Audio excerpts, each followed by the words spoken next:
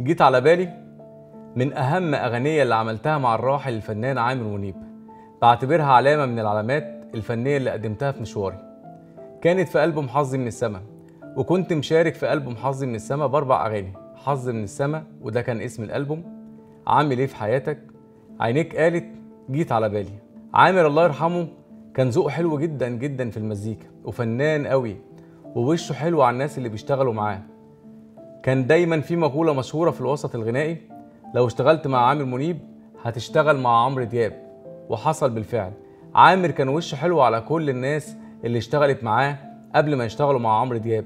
عمرو مصطفى خالد تاج الدين أحمد علي موسى وفنانين كتير قوي. مش عايز أنسى حد فيهم.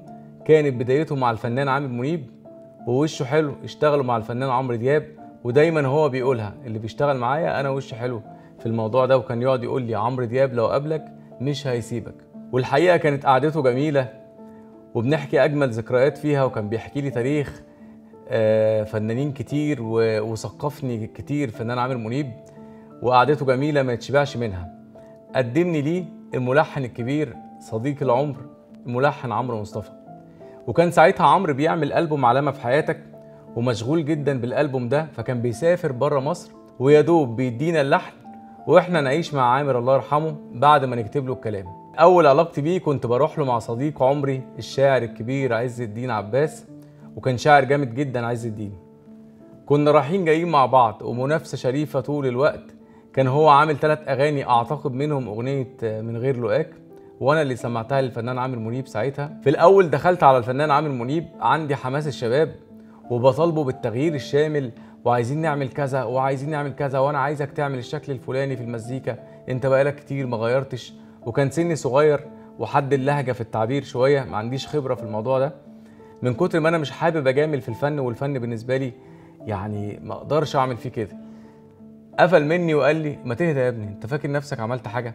وكان عنده مليون حق. الصراحة أنا كنت سخيف جدا ساعتها وصريح زيادة عن اللزوم. بس على قد ما استرخمني على قد ما استأمني جدا وكان بيحب ياخد رأيي لحد ما حبني على المستوى الشخصي. وبقيت كل يوم أخلص جامعة أطلع عليه. أنزل الساعة 7 الصبح بعد ما يصلي بينا الفجر. الفنان عامر منيب في لفتة إنسانية عايز أحكيها إن أنا كنت بقول له أنزل قبل الفجر لأن ساعتها ما كانش معايا عربية كنت بشوف تاكسي أو أي حاجة أروح بيها.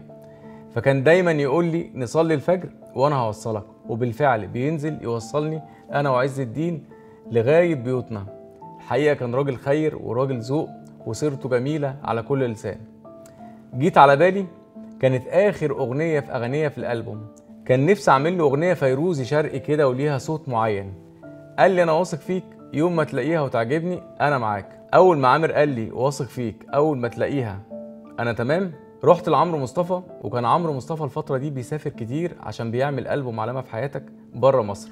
وتقريبا اليوم ده رحت له كان عنده طيارة بعد ساعة أو ساعتين. قلت له بص أصل أنا مش همشي غير ما تديني جملة فيروزي لأن أنا نفسي أعمل لعامر منيب أغنية ليها طابع فيروزي شرقي كده. عمرو مصطفى قعد يضحك يا ابني عندي طيارة يا ابني مستعجل. قلت له مش همشي إلا لما تديني الجملة. وفعلا في خلال دقيقتين كان مطلع لحن جيت على بالي. وكالعادة عمرو مصطفى عبقري وما بيغلبش. خلص عمرو طلع هو على طيارته وأنا طلعت على النادي الأهلي. وأحيانا أنا بتأثر وبيبقى في أماكن ملهمة بالنسبة لي.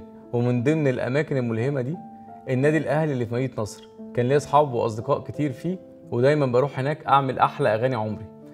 رحت وما مشيتش لما خلصت لحن جيت على بالي. كتبت الكلام وكنت فرحان بيه جدا جدا جدا. حاولت أكلم الفنان عامر منيب وأسمعه وأفرحه بس للأسف كان تليفوني فاصل شحن لأني طول اليوم بره البيت. قلت أروح له على طول من غير سابق مواعيد.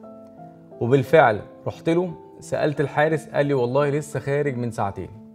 وأنا الحقيقة اليوم ده كنت مرهق جدا وعايز أروح. يا دوب مشيت كام خطوة لقيت عامر بينادي عليا وكان مفكرني معدي بالصدفة. حكيت له إن أنا لقيت الأغنية واتبسط جدا وقال لي يلا بينا نطلع فوق. طلعنا فوق قعد على البيانو بتاعه غنيناها مع بعض وطلعت في منتهى الجمال. تقريبا دخل سمعها لمدام إيمان آه، زوجته. وقال لي عاجبه مراتي جدا وأنا مبسوط بيها جدا يلا ندخل بيها استوديو. وجاب أعضاء الفرقة المسية وتقريبا اليوم ده هو اللي اتصورنا الصورة الوحيدة ليا مع الفنان عامر منيب. وما زالت بروفايل على صفحتي ما غيرتهاش من كتر ما حبيته جدا جدا جدا على المستوى الشخصي. قال لي بكرة تشتغل مع عمورة وتبيعني. قلت له والله ابدا قصده عمرو دياب. واتفائلت بيه وما بغيرش الصورة ولا هغيرها على طول طول ما أنا عايش. عشان كل اللي يشوف أغنية ونجاحي يفتكر وش الخير عامر منيب. نزلت جيت على بالي وكلمني من لندن كان طاير من الفرحة قال لي أنا ماشي في شوارع لندن ومبسوط قوي وكان مش مصدق النجاح بيقول لي بقالي كتير قوي ما عملتش نجاح ملفت كده. ولحد قبل ما يتوفى كنت كل ما أكلمه وأغنيها له أتصل بيه أقول له جيت على بالي كده من كام يوم وهو كذلك أول ما اتصل بيه يقول لي جيت على بالي كده من كام يوم. ودايما يقول لي أغنيتي وأغنية مراتي ويهزر وكان شخص في منتهى الجمال اللي في الدنيا. يمكن عامر منيب رحل عننا بس ساب لنا حاجات حلوة قوي من ريحته بناته مريومة وزينة ونور.